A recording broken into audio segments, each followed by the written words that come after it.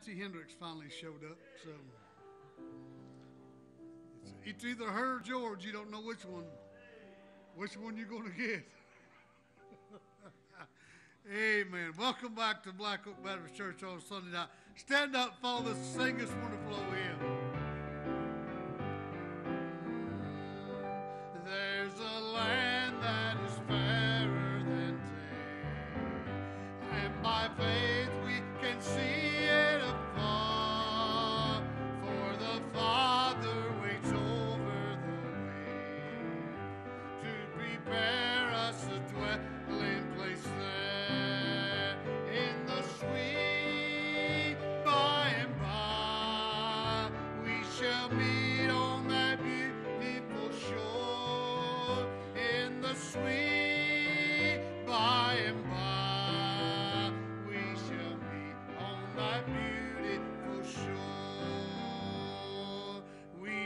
Amen. Miss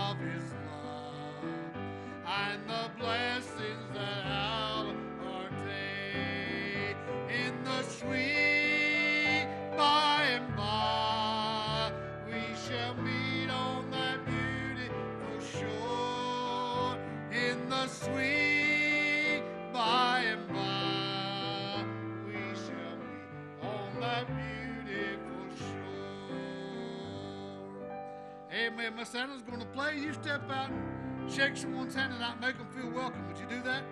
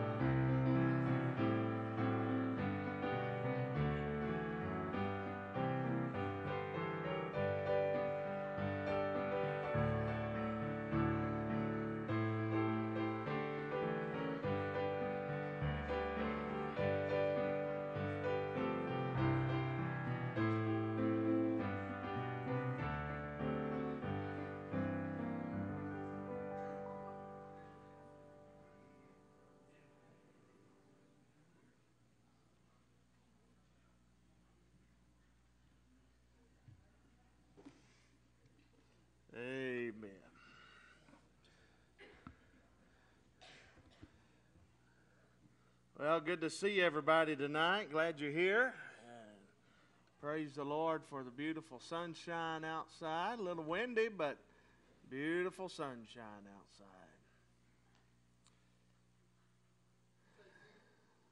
Not you, Roger.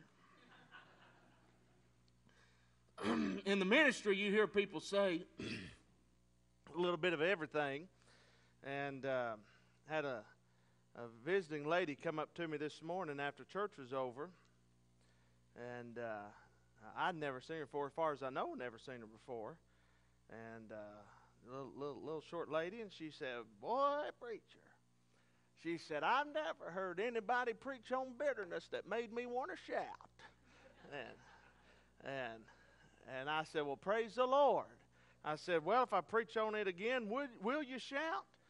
And she said, If you preach on it like you did this morning. And I said, All right then. So th- those kind of comments just encourage a preacher, and, and uh, I, I appreciate her saying that. That was a great encouragement to me. Good to see our associate pastor back tonight. I don't like it when he's gone, and uh, it's good to have him back. I, I told you Wednesday night he had that appointment this morning scheduled prior to coming, and, and I thought he ought to keep those appointments. He has a few more, and and uh, I think he needs to keep those. So, uh, but he's preaching tonight. I tell you, God's timing's just right. Uh, I've not felt too good this week in body, and uh, and uh, he's preaching tonight, and I'm thankful for it. And uh, so you pray for him this evening that God to give him the word that we need to hear, that I need to hear, that you need to hear as we meet in this place tonight. I met with our finance team this afternoon after church was over, and we were just looking over the budget, looking over our, our giving reports, and, and, and I left that meeting so encouraged about what God's doing in our church uh, your faithfulness in giving and, and just how, how God just continues to move. And uh, I just want to say thank you for supporting kingdom work. And it makes it awful easy. Uh, it takes a whole lot of burden off uh, when you don't have to worry about finances and you can just serve Jesus and preach the word and get kingdom work done. So thank you very much uh, for supporting kingdom work. Before we take up the offering this evening, I wonder if anybody has a prayer request on your heart tonight. Anyone at all? Raise your hand very quickly so I don't miss you. Anybody? If not, I'm going to ask our ushers to come this evening as we take up our offering. Uh, don't forget, this Wednesday night, we're not going to be having any service Wednesday night because we'll have our uh, Good Friday night service at 6 o'clock on Friday evening. So uh, no service Wednesday night, so you come Friday night and let's worship the Lord. Uh, Friday night at 6 o'clock. Won't be a very long service. We'll maybe open up in a song. I'll share a devotion, and we'll take communion that night. So um, we'll see you Friday night. Let's pray. Father, we love you. Thank you so very much for allowing us the opportunity to be here tonight. I pray this evening as we meet here in this place that your sweet Holy Spirit just meet here with us God, thank you, Lord, for what you did this morning. Our, our, our children and youth just blessed our soul. Lord, they uh, encouraged us about what you're doing in their life, and, and they encouraged us about what you're doing uh, now in our church and where the future is heading for our church. The spirit that they carry, uh, Lord, just thrilled my soul. Father, I pray tonight, God, as we gather here in this place Lord, that your Spirit will gather with us. Lord, bless this offering now. Bless us as we continue to worship you. Lord, as Brother Matthew comes in a little while to preach to us, God, hiding behind the cross. Lord, let his words be your words. God, let him be as bold as a lion and gentle as a lamb. And God, I pray tonight that as he speaks, Lord, speak into my life, speak into all of our lives, and draw us closer to you, we pray. In Jesus' name, amen.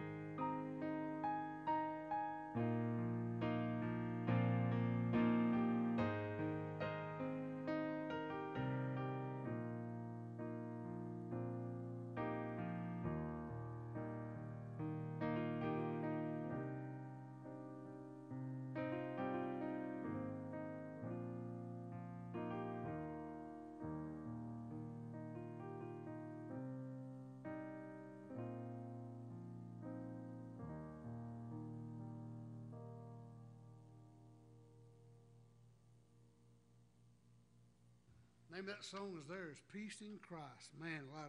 Choir's going to be working on that here for too long. Miss Anna's been working on the music, trying to get that ready for us, and that is one more beautiful song right there. That is a beautiful, beautiful song. Stand with me before Matthew comes and preaches to us tonight. Sing the battle hymn of Republic of the Baptists United.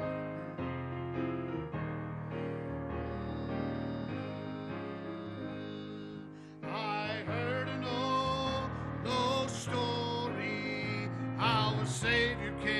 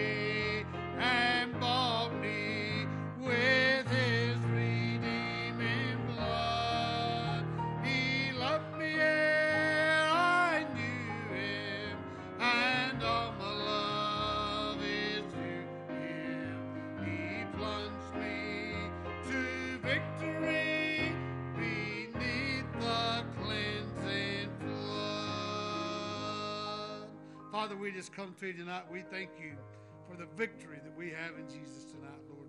Thank you for all that you do for us. Thank you for the peace that passes all understanding. Thank you for the love that's ever enduring and mercy that's gracious and gracious upon us today, Lord. Thank you for our church and all of our church family, Lord. Ask tonight you would bless Brother Matthew as he comes to preach the word tonight, Lord. Give him the freedom to speak. Open our hearts so we be receptive to the word tonight, Lord. Forgive us where we failed you and come short. All of God's people said, Amen. You be seated.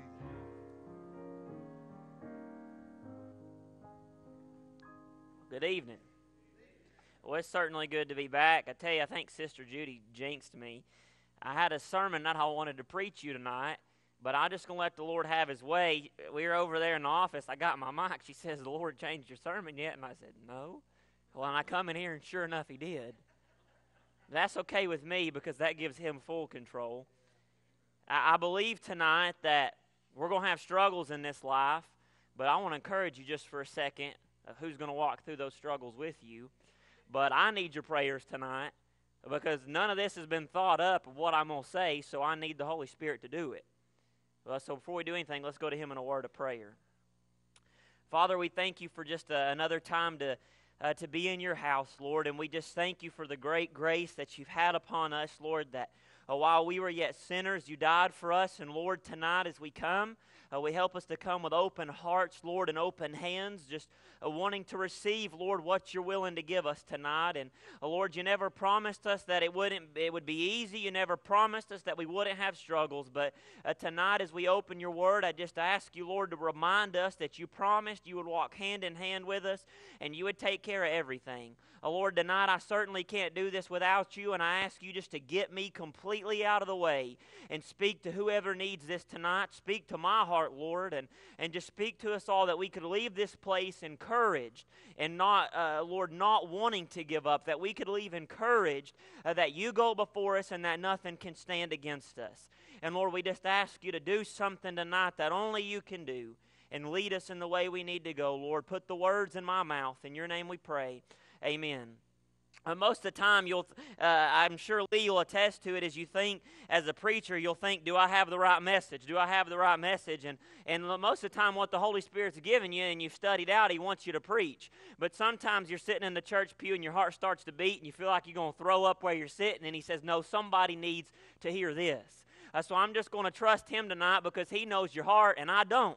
And praise God about that because if I knew it, I probably still wouldn't get you what you needed. Uh, but Jesus said, I came not for those. He said, Those are sick who are not sick need not a physician. He said, I came not to call the righteous, but sinners to repentance. Uh, so tonight, I want to ask you to stand with me, and I want to read you something uh, here out of Mark chapter uh, number 5. Tonight, starting in verse number uh, 26. It says, uh, verse number 25, rather, it says, And a certain woman which had an issue of blood of 12 years, and had suffered many things of many physicians, and had spent all that she had, and was nothing bettered, but rather grew worse. Uh, when she had heard of Jesus, uh, came in the press behind, and she touched the hem of his garment. Uh, for she said, If I may touch but his clothes, I shall be made whole. And straightway the fountain of her blood was dried up, and she felt in her body that she was healed of that plague. And Jesus, immediately knowing in himself that virtue had gone out of him, uh, turned him about into the press and said, Who touched my clothes? And his disciples said unto him, uh, Thou seest the multitude thronging thee, and sayest thou, Who touched me? And he looked round about to see her that had done this thing, but the woman, fearing and trembling, uh, knowing what she had done in her, came and fell down before him and told him the truth and said unto her, Daughter, uh, thy faith hath made thee whole. Go in peace and be whole of thy plague. I want to, you can be seated tonight, and I want to look at that verse where he said, Daughter, thy faith hath made thee whole. Uh, go in peace and be whole of thy plague. I, I want to encourage you tonight. I want to try to encourage you with God being my helper tonight that this lady had this issue of blood that she had seen many doctors for. Uh, she had this issue of blood that in this day she would have went all around the world trying to get healed, and no money she had uh, could get the doctor that she needed. And maybe Maybe she couldn't understand what she was going through. And maybe tonight you say, Preacher, I don't understand what I'm going through. Maybe tonight you say, I don't know why I can't feel the Lord's Spirit. Or maybe you say tonight, I don't know why it feels like the Lord's forsaken me. Or maybe you say tonight, Preacher, I don't know what's going on. But can I encourage you tonight that God's still on the throne? Can I encourage you tonight uh, what Jesus said when he got word that his best friend Lazarus was dead over there in John chapter number 11 in verse number 4, it says, When Jesus heard that, he said, This sickness is not unto death, but for the glory of God, that the Son of God might be glorified. Can I tell you tonight that your struggle is to bring God glory? Uh, can I tell you tonight that it doesn't matter what you face? We serve a God that there's no mountain too big for him to move, uh, there's no waters too strong for him to part. Can I tell you tonight that I was going to preach about communion and about how all the people uh, walked away from Jesus and he asked the 12 disciples, he said, Are you going to go away also? But can I tell you tonight that I don't know why, uh, what's on your heart, but can I tell you tonight that I'm sure of this that God brought you here tonight and He brought me here tonight and He changed my heart so you would be encouraged. Uh, this lady, she had no hope. Uh, nobody could help her. A preacher, the doctors couldn't help her, the disciples couldn't help her, and she thought maybe if I just touch the hem of his garment, she said, I shall be made whole. Uh, can I tell you tonight, that's all it takes. Uh, we gave the invitation this morning after preaching a hard message, and uh, nobody moved, and then this little 10 year old boy stepped out and he, he come to the altar and he said, Preacher, I was saved three years ago, but I haven't told anyone. He said, I said, I said, little man, I said, if you died today, where are you going? And he said, I'm going to heaven. And I said, Why? And he said, Because I've let Jesus into my heart. Can I tell you tonight that's all it takes for you to be made whole is the faith of a child. I don't know what you're facing tonight, but praise the Lord, He does. And if you could just get the faith of this woman, you'd be made whole real quick. You see, she knew she wasn't aiming high.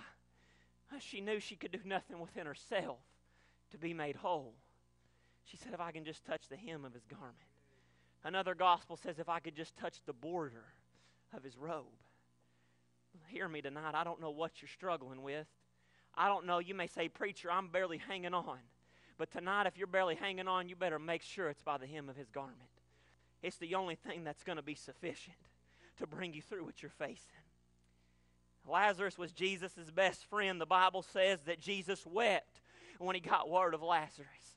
Uh, but he began to go and he said, This sickness is not unto death, but for the glory of God, that the Son of God might be glorified thereby. Can I tell you, it, it may be painful what you're going through. It may not make sense to your mind. It may not, you say, Preacher, it doesn't even feel like the Lord's standing with me anymore. But can I tell you, in Hebrews 13 5, he said, I'll never leave you and I'll never forsake you. He said in Romans chapter 8 that nothing will pluck you from his hand. He said, Not death, not principality principalities, not the devil himself can take you away from the Lord's hand. I don't know what you're struggling with tonight, but I can tell you the only way, a preacher, that you're going to be made whole is if you come get a hold of the hem of his garment. Uh, so many times I, I go to different things in this world and I try to get made whole. I, I say, if I just do this, I'll get peace. If, if I just do this, I'll find peace. If, if I just do this many good works, I'll find peace. And Jesus says, Son, if you just take my hand, you'll be made whole. Can I tell you tonight? I don't know if you're struggling financially. I don't know if you're struggling with sickness in your body. I don't know if you're struggling with your family. Uh, but this sickness is not unto death, but for the glory of God. And He didn't say you had to go through it on your own. Uh, James said, The trying of your faith worketh patience. And I'll tell you tonight, you would never be thankful for relief without the pain. You'd never be thankful for the sunshine if you never saw the darkness. Uh, you'd never be thankful for his peace if you never had to suffer affliction. But praise God, he said he would never leave your side. But what are you going to do about it? Where are you going to go? Uh, that sermon that I had this, uh, this morning was uh, the disciples walking away, and Jesus said, Are you going to go away also? And Peter looked at him and he said, Lord, he said, Where else am I going to go? He said, You have the words to eternal life. He said, You're the only way. You see, that lady that had that blood issue, she did it backwards. She took it to all these different doctors first when she should have took it to the great physician. Can I tell you tonight, many people don't believe anymore, but I believe the Lord can touch you and heal you tonight or whatever it is. But it takes faith. You say, Preacher, how do I have the faith that uh, this lady had when uh, she, she, there's this crowd uh, was around Jesus, and she said, If I just touch that string hanging from his wore down robe where his feet's been walking on it, she said, I shall be made whole. You said, Preacher, you say, How do I get that kind of faith tonight? How do I meet, be made whole tonight? Uh, preacher, how do I get rid of what I'm struggling like this right here? I tell you, I used to think, What are people going to think of me? Until one day I learned that uh, He is the great physician, uh, that He will take away anything that you're struggling with. But can I tell you tonight, you say, Preacher, you say, The Lord's forsaken me. You say, uh, The Lord's not around me. The Lord's not helping me. Can I tell you tonight, uh, you have not because you asked not. That lady fell down and she crawled on her hands and her knees. If that's what it takes for you to get to Jesus tonight, I'm telling you, you better do it because He's the only way you're going to be made whole tonight from that sickness, from that battle with the devil. He's the only one that's going to protect protect you. And that lady didn't care what a, a single person in that place thought. She fell down on her hands and her knees and she crawled to Jesus. And immediately Jesus said, Who touched me? Who touched me? Peter said, Master. He said, Lord. He said, There's a crowd thronging you right now, and you ask who touched me. Jesus said, I felt virtue go out of me. Can I tell you tonight? I'm about to pass out, but can I tell you tonight? I don't know what you're struggling with. I want to read you one more thing, then I'm going to be done tonight. You can at least say amen to that. There's another account in the Gospel of Mark, chapter number 6. Go there. Verse number 45 Jesus had just fed 5,000 people, and then he sent them away. And then Jesus went into the Mount of Olives to pray, and he sent his disciples across the sea to go to Bethsaida. And it says there in verse 45 straightway he constrained his disciples uh, to get into the ship and to go to the other side before unto Bethsaida while he sent away the people. And when he had sent them away, he departed into the mountain to pray. And when he was even coming to the ship, uh, was in the midst of the sea, and he alone on the land, and he saw them toiling and rowing, uh, for the wind was contrary unto them. And about the fourth watch of the night, he cometh unto them walking upon the sea, and he would have passed by them. Uh, but when they saw him walking upon the sea, they supposed it had been a spirit, and they cried out, for they all saw him and were troubled. And immediately he talked with them, and he said unto them, Be of good cheer, it is I, be not afraid. And he went unto them into the ship, and the wind ceased. And they were sore amazed in themselves uh, beyond measure, and wondered, for they considered not the miracle of the loaves, uh, for their heart was hardened. Out on the water, uh, the storms were raging high. Uh, they didn't know what to do. Uh, the Bible says that they began to be in fear, and another gospel writer said that they cried out, saying, It's a ghost. Even the disciples that saw Jesus with their own eyes, they had a struggle. And if they did, you're going to have a struggle. Uh, but praise God, He doesn't send you into one storm by yourself. He met them disciples, and in the Gospel of Matthew, Peter got out of the boat and he stood on the water with Jesus, and he took his eyes off of Jesus and he began to sink, and he said, Lord, save me. And the Bible says immediately that Jesus reached for his hand and saved him. Uh, can I tell you tonight, the moment you reach out for the hem of his garment, he'll immediately stick his hand out and save you. Uh, the minute you, whether you need salvation, whether you need rescued from a dark place, he said, I will go with you even unto death. Uh, tonight, your sickness is not unto death, but it's for the glory of God, so it's time to rejoice. Those disciples just watched Jesus take nothing and make something out of it to feed all these people. If your heavenly Father feeds the fowls of the air, why wouldn't He take care of you? He tells, he tells the oceans where to begin and where to end. He tells the mountains when they got to stop growing. Lady sung a song this morning that the same seed that he planted grew the tree that he died on. Think about that. It was a part of his plan from the beginning. Over there in the book of Jonah, when Jonah said, I'm the reason that this storm is coming because I've been disobedient, he said, Throw me over and the storm will cease. And when they did, they said, Who is this that even the winds and the seas obey him? The disciples said that out on the water. I'm going to tell you tonight, you may thought this Christian life was going to be easy. Spoiler alert, it's not. But there's a peace that surpasses all understanding. Jesus said, In this world, you'll have trouble. I guarantee you tonight, you're going to have trouble. And sometimes I sit back and wonder what in the world is going on. But I got to remind myself that He's still on the throne. Lord, why is this happening? I'm in control. Just trust me.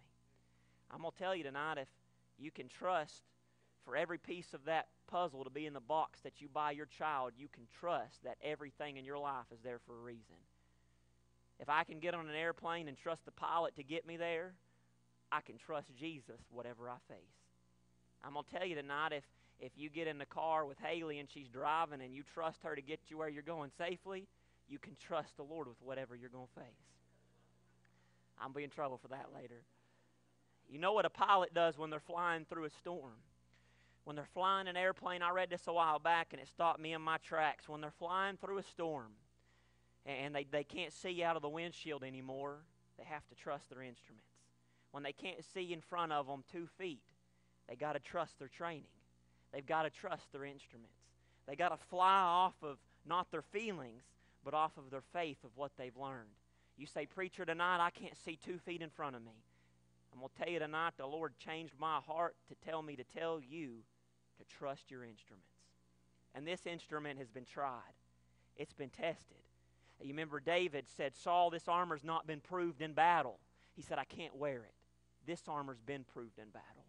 This armor has won the battle. But listen to me tonight. This is a key point. It's up to you to pick it up and put it on. The other day, I was fighting the devil real hard, and I thanked the Lord for Haley, and she looked me square in the face, and she said, When are you going to stop taking this and put your armor on and fight the devil? I said, I guess right now. So I'm going to say the same to you. I don't know what you're facing tonight, but I can say the Lord's been here. That lady with that blood issue, she realized that it's good to have doctors. God gives us doctors. God gives doctors knowledge to heal us. But He's the great physician. It's good to, it's good to go to those people. But why do we make Him our last resort? That lady with the blood issue made Him her last resort, and she surely found what she needed. I believe that there's nothing in the Scripture by accident. I believe that's there to tell you and I that we should go to Him first. When I turn to other people when I'm going through something, I can find encouragement. Brother Lee can give me encouragement. Haley can give me encouragement. Brother Roger can give me encouragement unless it comes to sports. Uh, whatever it may be, I can receive the encouragement, whatever it is. But if I'll just turn to Him, I'll find the peace that surpasses all understanding. Uh, Jesus said, In this world you'll have trouble. But He said, Take heart, I've overcome the world. He said, In Him you can have peace tonight. Can I tell you, John 10 10 says, The thief comes to steal, kill, and to destroy. You say, Preacher, why am I facing this right now? It's because the enemy wants to take you out. Lord showed me something the other day. If you got joy, he wants to steal it. If you're struggling, if, if, if, you, if your marriage is good, he wants to kill it. If your church attendance is good and your worship is good, He wants to destroy it. The Lord showed me something the other day. I was struggling and I felt like I was laying down and the devil was trampling all over me. And the Lord said, Why are you not being sober and why are you not being vigilant? I'm not talking about drinking alcohol sober. You ain't got to worry about that. I don't do that. I'm talking about being alert. Uh, watching for the enemy to come. Uh, the Bible says he seeks his prey as a roaring lion. Can I tell you what my instrument tells me tonight? He seeks as a roaring lion, but he's an impostor and he's wearing a costume because he's just a little kitten compared to the lion of Judah. He's just a little ant compared to my king. And I got to tell you tonight that one of these days I, I watched a video from the Tennessee Baptist Board they posted the other day, and the, the preacher was preaching, and he said, God's still on the throne. He said his hand's still on the throttle, and one of these sweet days he's going to come back and he's going to get us all, and we'll hear it's been worth it after all. It'll be worth it after all. Not because the walls of jasper, not because, uh, uh, not because the streets of gold, not because the crystal seas, but because I will see the face of my Savior that protected me. It says says in Second Thessalonians 3, 3 the Lord is faithful and he will protect you from the enemy. But what do you do when somebody breaks into your house?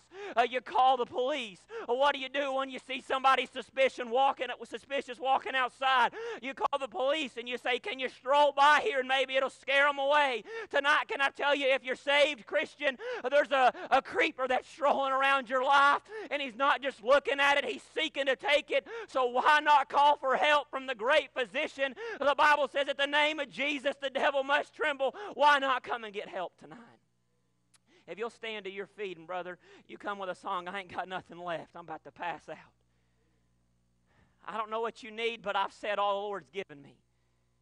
You come grab the hem of his garment if you need it tonight.